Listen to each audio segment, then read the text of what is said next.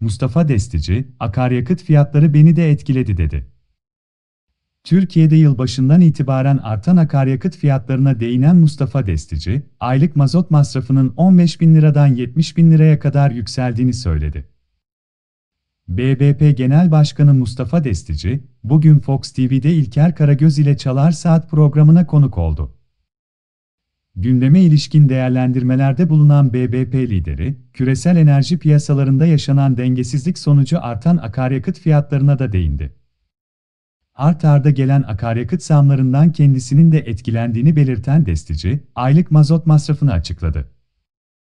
Mazot giderimiz 70 bin liraya kadar çıktı.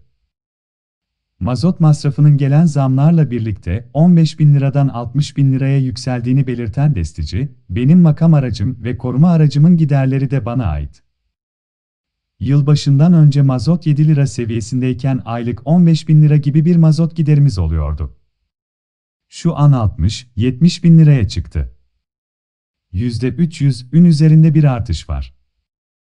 Ama bizde zaten enflasyonun artmasında en önemli sebep enerji ifadelerini kullandı.